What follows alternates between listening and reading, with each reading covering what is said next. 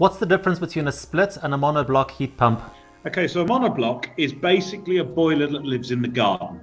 So what you have is you, if you imagine you've taken your gas boiler off the wall, you're going to replace it with this box that sits in the garden. So your heating engineer is going to take the tubes that used to go to the boiler, push them through the wall of the house, and connect them up to your monobloc heat pump.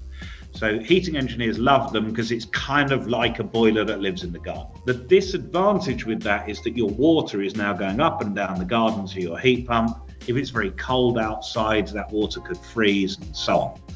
So in Europe, they tend to um, go for systems which are called splits. So if you imagine they took the monobloc and somebody split it in two. So the bit with the water goes in a box inside, looks really like a boiler, but they call it a hydro box. Um, so that is basically your, your heat exchanger and your pump and all the water components sit in a box.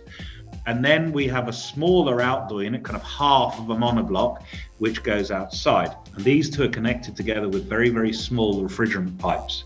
The advantage of refrigerant pipes is they're small, very, very low loss. So you can put your outdoor unit 40, 50, 60, even 75 meters down the garden with almost no loss.